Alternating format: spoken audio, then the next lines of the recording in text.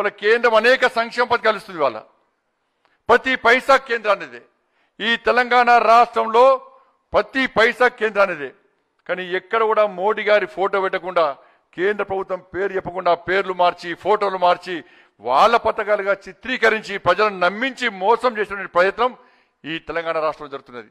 కరోనాకు సంబంధించి ఈ రాష్ట్రానికి ఏడు వేల ఒక వంద యాభై ఒక్క కోట్లు ఈ రాష్ట్ర ప్రభుత్వానికి ఇలా కేంద్రం ఇస్తే ఇవాళ ఒక్క పైసా ఇవ్వాలని చెప్పి ఆ ఇచ్చిన పైసలన్నీ కూడా దారి మలిచి కనీసం ఈ తెలంగాణ రాష్ట్ర ప్రజలకు కరోనా వైరస్ బారిన ప్రజలకు ఏ ఒక్క ఏ ఒక్క సందర్భం కూడా ఆదుకునే ప్రయత్నం ఈ రాష్ట్ర ప్రభుత్వం చేయలేకుండా చేసిన సందర్భం ఒక్కసారి మనం గుర్తుంచుకోవాల్సిన అవసరం ఉంది. డాక్టర్లు ఇబ్బంది పడుతున్నారు ప్రజలు ఇబ్బంది పడుతున్నారు పోలీసులు ఇబ్బంది పడుతున్నారు. ఇలా చివరకు వాళ్ళ ఎమ్మెల్యేలు కూడా ఇబ్బంది పడుతున్నటువంటి విషయాన్ని ఒక్కసారి మనం గుర్తుంచుకోవాల్సిన అవసరం ఉంది. ఇవాళ ఏం పైసలు ఇస్తలేమంటున్నారు.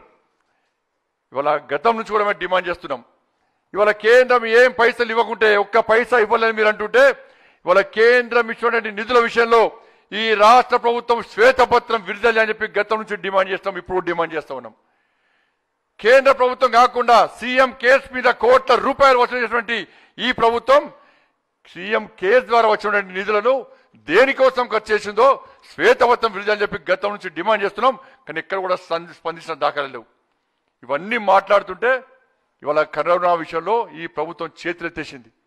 కంట్రోల్ తప్పింది ఇవాళ. ప్రజలు అయోమని గురవుతున్నారు. ఇలా భయానక వాతావరణం తెలంగాణ రాష్ట్రంలో ఉంది. ప్రజలను కాపాడండి డాక్టర్లను కాపాడండి పోలీసులను కాపాడండి. ప్రజలు ఇబ్బంది పడుతున్నారు కంట్రోల్ చెప్తుందని చెప్పి ప్రభుత్వానికి విన్నవించిన ప్రభుత్వం పెడజవన పెడితే ఒక రాజకీయ పార్టీగా ఒక జాతీయ పార్టీగా ప్రజల అండ ఉన్నటువంటి పార్టీగా ఇవాళ డిఎంహెచ్ఓ కార్యాలయం ముందు హాస్పిటల్ ముందు ఆందోళన చేస్తే ఇవాళ ఈ ముఖ్యమంత్రి భారతీయ జనతా పార్టీ చిల్లర రాజకీయాలు చేస్తుందని చెప్పంటున్నారు ఇవాళ మేమన్నదే అలా వాస్తవమైంది.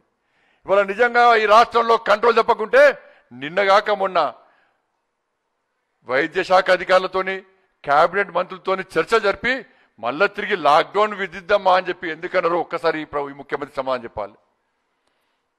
ఇలా ఏ రాజకీయ పార్టీ విమర్శ చేసినా కూడా సూచన సలహా ఇచ్చినా కూడా దాన్ని విమర్శగా తీసుకుంటారు తప్ప దాన్ని సూచనగా సలహా తీసుకునే పరిస్థితికి ముఖ్యమంత్రి లేదు. పత్రికల మీద ఉక్కుపాదమే విలేకరుల మీద ఉక్కుపాదమే రాజకీయ పార్టీల మీద ఉక్కుపాదమే ఉద్యోగుల మీద ఉక్కుపాదమే తనకు వ్యతిరేకంగా ఎవ్వరు మాట్లాడినా వాస్తవాలు మాట్లాడినా వాళ్ళను అంచివేసే ప్రయత్నం ఈ రాష్ట్ర ప్రభుత్వం చేస్తున్నది. మరి కేంద్ర ప్రభుత్వం అభివృద్ధి కోసం ఒక్క పైసా ఇస్తారని చెప్పి వాళ్ళు తప్పుడు ప్రచారం చేస్తున్నారు ఎస్ ఈ రాష్ట్రంలో కేంద్ర ప్రభుత్వ వాటా లేని ఒక్క సంక్షేమ పథకం పేరు చెప్పని సవాల్ చేస్తే ఈ రాష్ట్ర ముఖ్యమంత్రి తోక ముడిచి పారిపోతున్నారు. కేంద్ర ప్రభుత్వం నిధులు తప్ప ఒక్క పైసానన్న మీ రాష్ట్ర ప్రభుత్వం ఇచ్చిందా శ్వేతపత్రం విడుదల చేయమంటే దానికి సమాధానం చెప్పలేనటువంటి ప్రభుత్వం టిఆర్ఎస్ పార్టీ ప్రభుత్వం. ఎస్ ఈ రాష్ట్రంలో అమలుతున్న ప్రతి పైసా కేంద్రానిది. ప్రతి సంక్షేమ పథకం కేంద్రానిదే.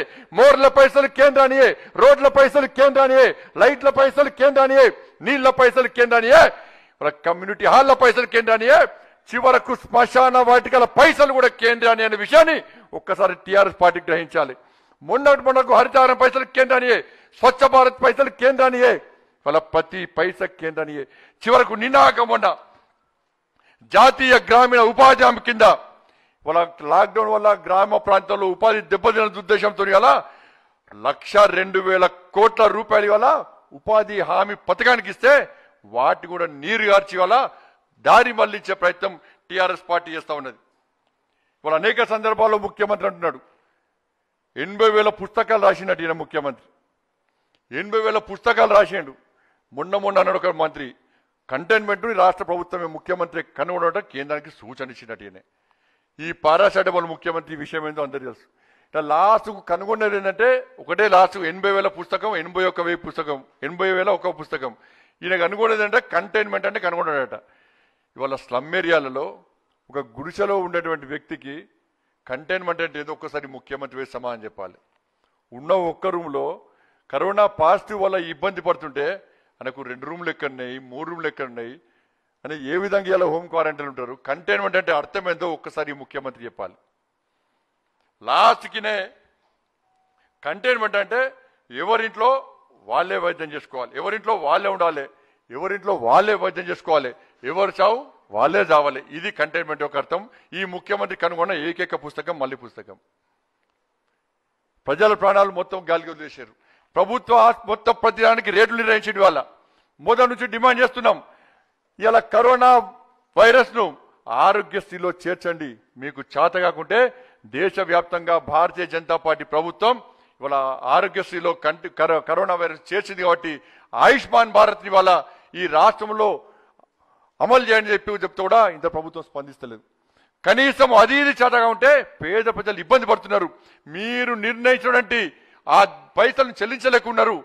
పేద ప్రజలు ఇబ్బంది పడుతున్నారు. దాన్ని చెల్లించలేక పేదోళ్ళందరూ కూడా నిజంగా కరోనా వైరస్ బారిన పడిన పేదలందరూ కూడా బయటికి చెప్పుకోలేక ప్రాణాలు హరించిపోతున్నాయి పేద ప్రజలు చనిపోతున్నారని చెప్పి వాళ్ళకు ఉచిత వైద్యం అందించాలంటే కూడా ఈ ప్రభుత్వం కనీసం స్పందిస్తలేదు. ఇలా పైసలు అన్ని దారి మనిషి జేబులు ప్రయత్నం చేస్తున్నాడు. ఇలా అభివృద్ధి పేరుతోని ప్రాజెక్టులు ప్రాజెక్టులకు భారతీయ జనతా పార్టీ వ్యతిరేకం కాదు. రీడిజైన్ పేరుతోని ఇలా లాక్డౌన్ సందర్భంగా ఒక లాక్డౌన్ అమలవుతున్న సందర్భంలో కూడా వాళ్ళ టెండర్ల పేరుతోని పర్సంటేజ్ల పేరుతోని ఏ విధంగా ప్రాజెక్టుల పేరుతోని ఇలా దోచుకునే ప్రయత్నం చేస్తున్నారో దానికి భారతీయ జనతా పార్టీ విరుద్ధం. నిన్నాక మనకు తెలుసు ఇది లీకేజ్ల ప్రభుత్వం. ఈ ప్రభుత్వము కట్టిన ప్రాజెక్టుల వల్ల ఇలా ప్రజలు ఆ ప్రాంతంలో భయానక వాతావరణం ఉన్నది. ఎప్పుడు ఏ గ్రామం మునిగిపోతుందో అని చెప్పి అలా భయానక బిక్కు బిక్కుమంటూ ప్రజలు ప్రాణాలు చేతులు పట్టుకొని జీవిస్తూ ఉన్నారు. నిన్నగాక మొన్న కొండ పోచమ్మ సాగర్. అంతకుముందు మల్లారి సాగర్ లీకేజే మిడ్ మానర్ లీకేజే కాళేశ్వరం లీకేజే అన్ని లీకేజ్ల ప్రభుత్వం. ఇవన్నీ విమర్శిస్తే ఇవాళ మళ్ళా కేంద్ర ప్రభుత్వం మీద పార్టీ మీద విమర్శలు చేస్తూ ఉన్నారు. అందుకే ఇవన్నిటికి వ్యతిరేకంగా భారతీయ జనతా పార్టీ మొదటి నుంచి కూడా ఉద్యమిస్తూ ఉన్నది. మేము ఉద్యమాల కోసం కాదు ప్రభుత్వాన్ని సహకరిస్తామని చెప్పి లెటర్ రాసినాం. అన్ని విధాలా ఆదుకుంటామని చెప్పన్నాం. కేంద్ర ప్రభుత్వం సిద్ధంగా ఉందన్నాం. కానీ ఏ రోజు కూడా ఈ ముఖ్యమంత్రి కనీసము మా మాటను పట్టించుకున్న పాపన వల్లే. ప్రతిష్టకు పోయి ఇలా తెలంగాణ రాష్ట్రానికి అప్రతిష్ట ముడినటువంటి ప్రభుత్వం టీఆర్ఎస్ పార్టీ ప్రభుత్వం. అందుకే ఈ విషయాలన్నీ కూడా ప్రజలకు వివరించే ఉద్దేశంతో ఈ రోజు ఈ రెండు జిల్లాలకు సంబంధించి ఇవాళ ఈ వర్చువల్ నిర్వహిస్తా ఉన్నాం మనం.